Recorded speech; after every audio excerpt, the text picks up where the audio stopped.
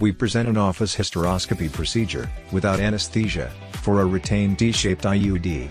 The best way for an extraction, of a T-shaped IUD, is by direct vision, through a hysteroscope.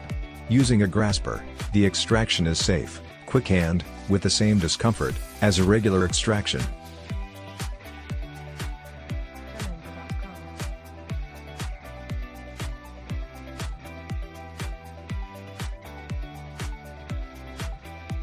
Then we proceeded to perform a biopsy.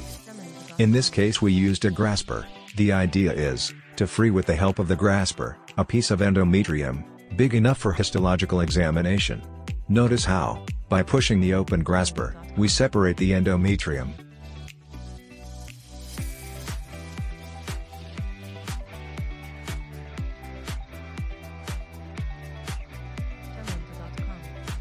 Then, at the end we do not pull out, but push toward a lateral wall, in order to free, the piece of endometrium. Keep the tip of the grasper, with the tissue, at a distance, that allows you to see it through the way out. And finally, you have a nice and big sample, for histology.